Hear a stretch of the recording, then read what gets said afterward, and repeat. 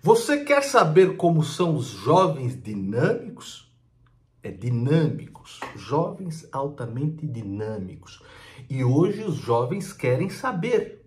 Os jovens querem entender todo o conflito entre Hamas e Israel na faixa de Gaza. Jovens querem saber. Você quer um exímio exemplar de jovem dinâmico? Vamos ver juntos.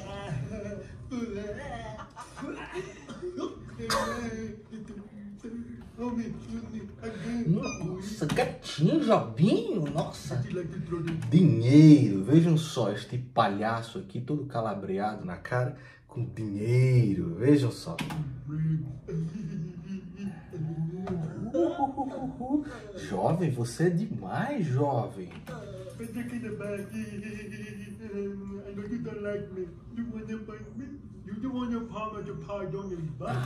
Ah, jovem, você está demais.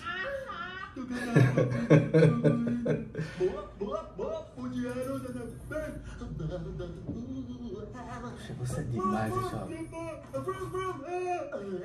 É muito, é muito dinâmico, é muito legal. Os jovens que querem saber a respeito do conflito no Oriente Médio ontem levantaram a seguinte hashtag no Twitter mundial: Estado terrorista de Israel. Fizeram um genocídio na Palestina. Essa gente é profundamente doente, é doença moral, diz o André Guedes.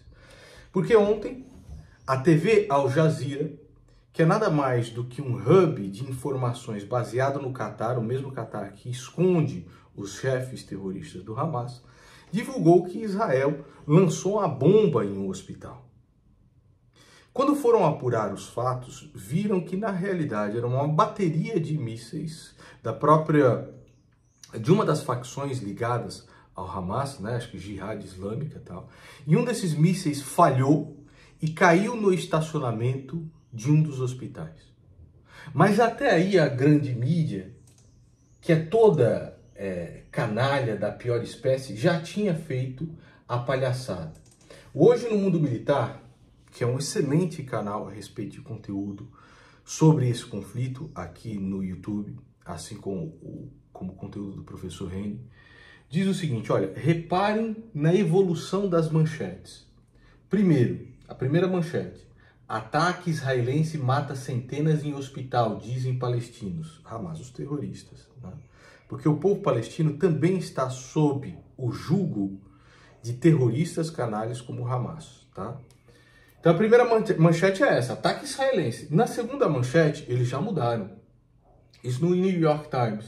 Pelo menos 500 mortos em um ataque em hospital em Gaza, dizem palestinos, Hamas, grupo terrorista. Terceira manchete, pelo menos 500 mortos em explosão em hospital em Gaza, dizem palestinos Hamas. Olha como muda. Na primeira manchete, as mídias se limitaram a repetir o que os terroristas do Hamas diziam através da rede Al Jazeera, onde seu, do, do Qatar, onde os seus líderes mais terríveis se escondem. Né? Ou seja, que um ataque israelense contra o hospital em Gaza tinha matado centenas de pessoas. Na segunda manchete, eles tiraram o ataque israelense, mas mantiveram o termo ataque. E finalmente, na terceira manchete, substituíram ataque por explosão.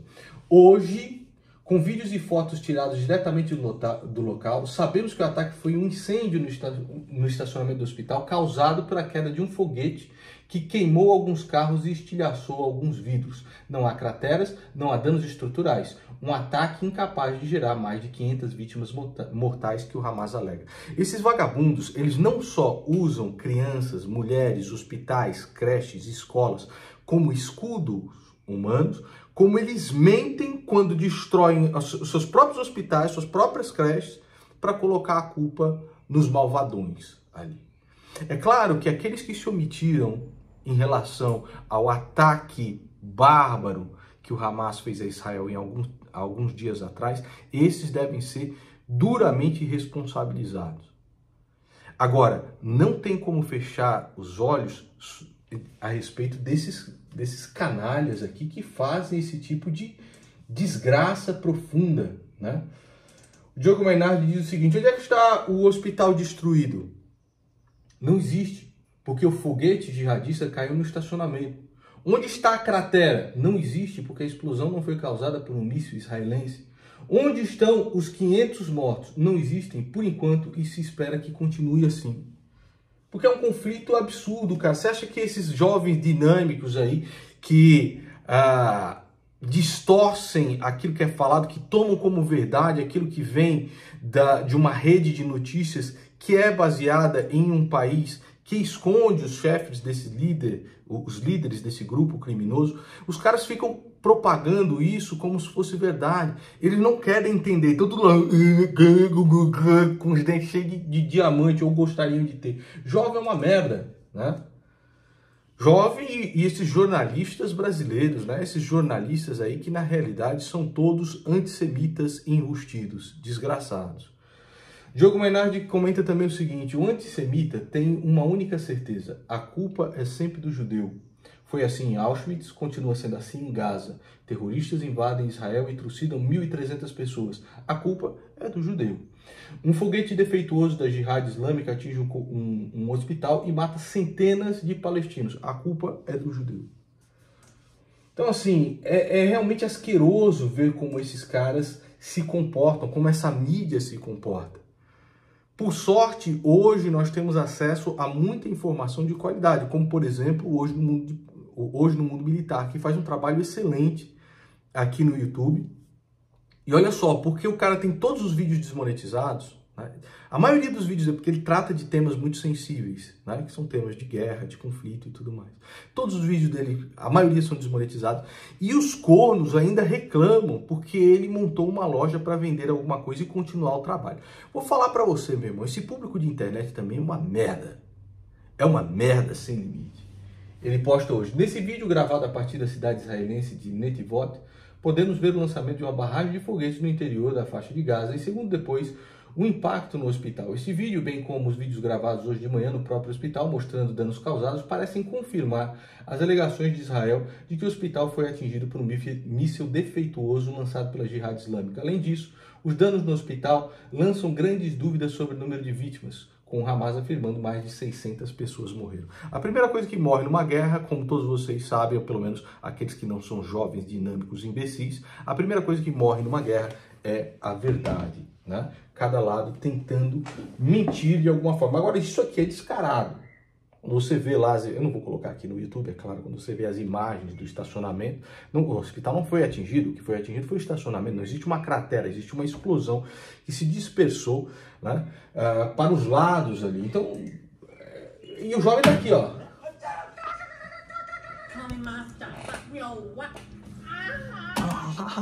Isso aqui é massa! Bom, bom, bom, bom, bom!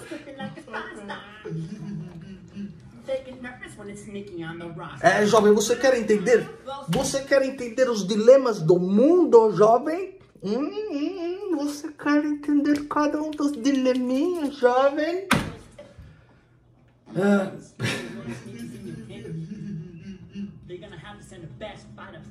É.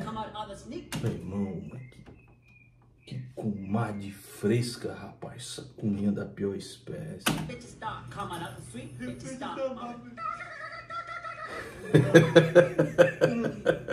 o bagulho é louco, viu, mano? O bagulho é louco. O jovem é foda pra caralho. Ah. Muito bem. Ontem eu coloquei dois vídeos aqui no canal a respeito do reality show que o Flow pretende montar e dar as minhas uh, o que eu penso a respeito, inclusive o Igor mandou uma mensagem ontem, falou assim, cara, é, bem honesto aquilo que você pensa da nossa iniciativa. Eu acho que o importante são as pessoas comentarem. Porque um reality show a respeito de política, pelo menos movimenta as coisas, né? Os jovens só querem saber de putaria, mas pelo menos, ora, se acontecer uma grande putaria lá, nós vamos ganhar, viu? Então tá tudo certo. Hã? Que, bom, enfim, eu vi, eu, e, e eu Desejo só o melhor para o Igor, desejo que seja uma iniciativa de muito sucesso, né? Porque se não for, o pop tá lascado, porque é foda. São vários funcionários na empresa, agora com CEO, priquitio do caramba. Então fiz um vídeo ontem a respeito do Flow e do seu reality show e fiz um vídeo também, um bate-papo de quase uma hora com o Fábio Lima, muito mais a respeito de música e mercado do que qualquer outra coisa. Assistam, tá bom?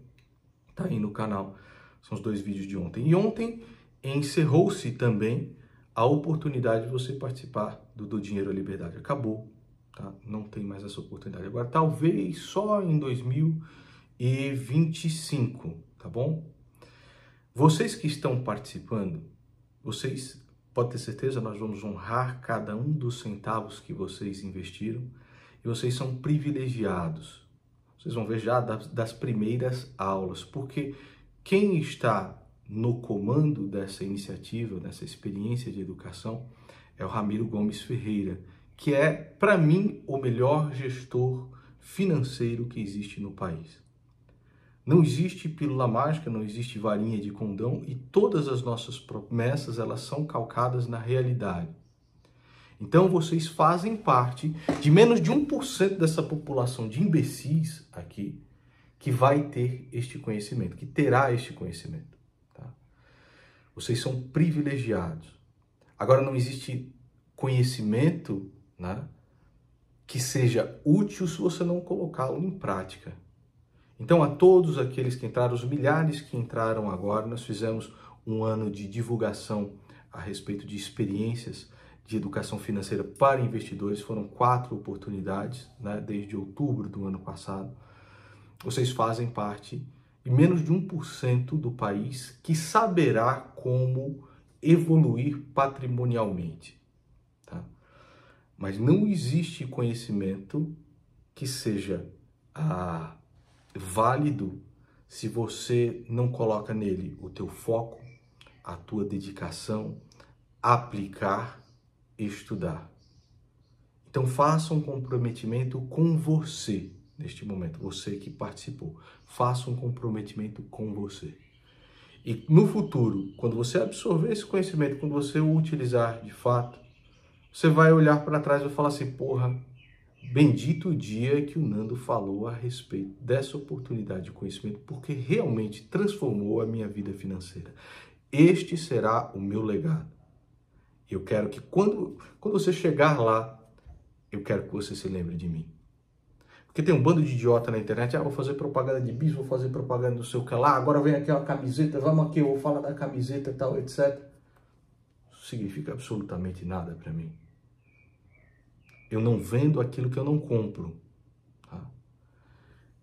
E, eu, e se eu compro, é porque eu sei que fez grande diferença na minha vida e eu quero que você tenha exatamente as mesmas oportunidades que eu tive.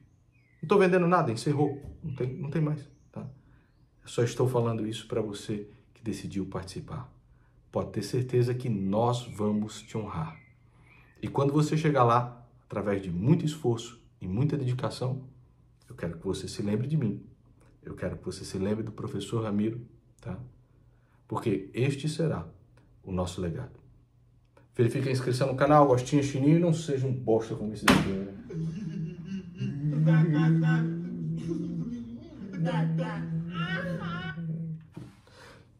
Valeu.